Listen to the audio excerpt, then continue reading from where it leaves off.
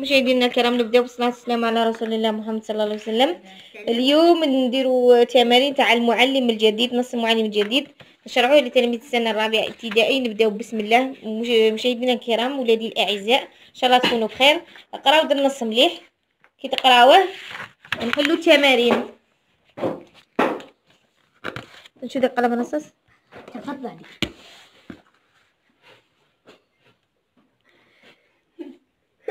هنا رصيدي الجديد حفاوة معناتها احتفاء ترحيب الهندم معناها اللباس الوقار معناها الرزانة. هنا اختر لكل مناسبة معناها معناتها في هذه الكلمات كاينة كل كلمة ومعناها. نبداو بالأولى تفقد شنو معناها؟ اطلاع اطلاع تفقد شنو اطلاع وين اطلاع الزوجة شاهي كلمة جربها وعرفها. جربها وعرفها معناتها خبيرة. خبيرة هاي خبيرة. ولاد الأعزاء الثالثة. امتعاض بعدم الرضا. امتياز بامتياز معناتها بعدم الرضا. هذه يجي مع هذه نيشان. حدسوهم معناتها حدسوهم معناتها توقعوا. توقعهم نبداو بالسؤال الأول. توجد هذه أين توجد هذه المدرسة؟ توجد هذه المدرسة في قرية من القرى الجزائرية. أين توجد هذه المدرسة؟ في قرية من القرى الجزائرية. وراكي كتبت هنا وراهي. في قرية من القرى الجزائرية. وجاوب الأول. صح. السؤال الثاني. من قدم إليها شدنا قدم قدم إليها معلم جديد. كان في انتظاره رجل كبير القرية اسمه مغرارة كان في انتظار شوفوا قدم إليه معلم جديد. كان في انتظاره كبير القرية بوغرارة. وجمع من الفضوليين. وجمع من الفضوليين. المدرسة صف المدرسة التي جاءها المعلم الجديد. المدرسة التي جاءها المعلم الجديد فيها ثلاث أقسام. يتسع كل منها خمسين مقعدا. وعلى الفناء. وعلى فناء. ومرحاضين. ومرسلة. وفيها في الجهة المقابلة. شكاين في الجهة المقابلة. الذي الذي س... الذي سيسكن الدار التابعة. أرجع ارجع هنا دقيقة. معناتها المدرسة التي جاءها المعلم الجديد نعود نشرح لكم فيها ثلاث أقسام. يتسع كل منها لخمسين مقعد وعلى فناء ومرحضين ومغسلتين وفيها في الجهة المقابلة شكاين في النص. شكلوا فيها في الجهة المقابلة أو سوريا في النص. مقابلة. وعلى دار في الجهة المقابلة. هنا كتبوا هنا دير ما درتوش دار. وفي وعلى دار في الجهة المقابلة. هنا أنا درتها. وعلى دار. أنا وفيها دار في أيوة. الجهة ولا المقابلة تقدر تقولي وفيها دار في الجهة المقابلة. نعود إن شاء الله مدرسة جاء المعلم الجديد فيها ثلاثة أقسام. يتسع كل منها لخمسين مقعد وعلى فناء ومرحاضين ومغسلة وفيها دار في الجهة المقابلة. نروحوا للسؤال آه، من الذي سيسكن درناه؟ لا لا ما زال. مدرسة التي جاء من الذي سيسكن الدار التابعة للمدرسة؟ الذي سيسكن الدار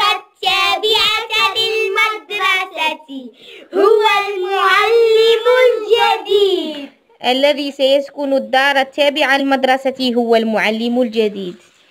السؤال المعلم سيمكث طويلا في القرية. استخرج ما يدل على ذلك. المعلم سيمكث, سيمكث طويلا في القرية. ما يدل على ذلك. هو ما يدل على ذلك هو الجملة ثم اتجه حقائبه التي معها السائق.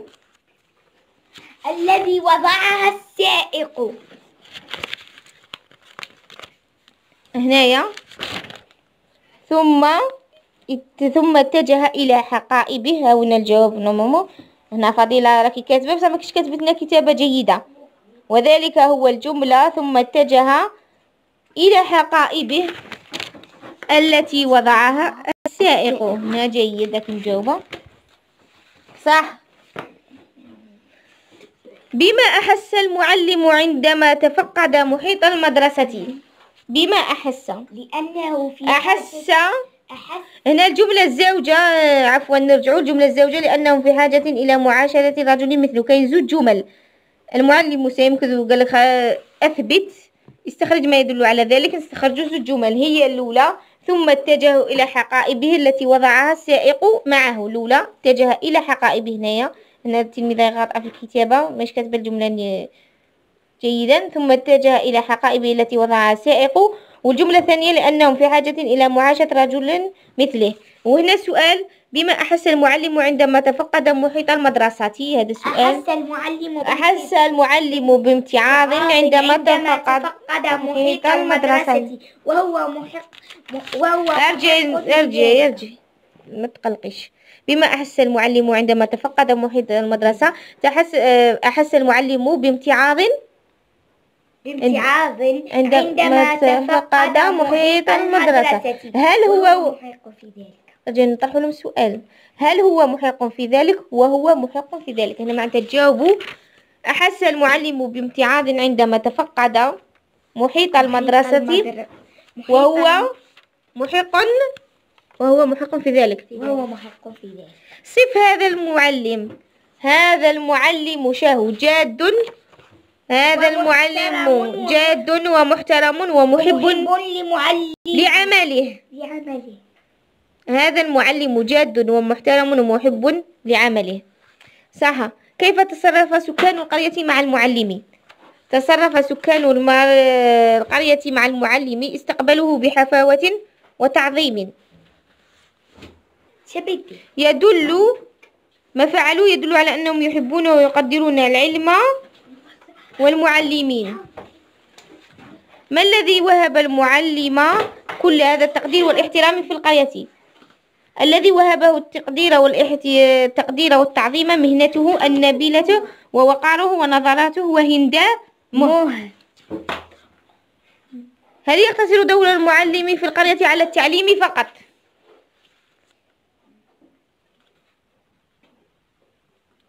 دور المعلم هنا نقول دور المعلم في القرية لا يقتصر على التعليم فقط بل يكمن في مشاركتهم في حل مشاكل مشاكل هنا مش كما كتكتب مشاكل. هنا مشاكل القرية بخبرته وعلمه وحكمته بخبرته وعلمه وحكمته. هنا دور المعلم في القرية لا يقتصر على التعليم فقط بل يكمل في مشاركته في حل مشاكل القرية بخبرته وعلمه وحكمته. في رأيك هل يستحق المعلم أن يبجل ويقدر؟ معناتها السؤال الأخير نعم يستحق المعلم أن يقدر ويبجل فهو شعاع النور الذي يطرد ظلمات الجهل. هنا نعم يستحق المعلم أن يقدر ويبجل يبجل فهو شعاع النور الذي يطرد ظلمات الجهل. نروح للسؤال الأخير انقل ثم أنجز عين العنصر الداخل في كرسة الاحترام. التقدير والتعظيم. هادو قاع يطيقوا مع بعض الامتعاض ما يجيش مع معاهم. الأقسام الفناء غرفة الاس... غرفة الاستقبال والمكتبة الأقسام والفناء. معناتها الأقسام والفناء كاين في المدرسة. المكتبة في المدرسة غرفة الاستقبال ما يجيش معاهم. الثقافة المعرفة الخبرة. هادو يجوا في رحبة. الجهل ما يجيش معاهم. هادو اللي دايرين بقلم رصاص معناتها داخلين. عنصر داخل. مشاهدينا الكرام كان هذا شرح. آه، حل تمارين صفحة 32 وشرح آه، نص المعلم الجديد لتلاميذ السنة الرابعة ابتدائي. نلتقي في فيديو قادم. نلتقي في فيديو قادم إن شاء الله. مع السلامة.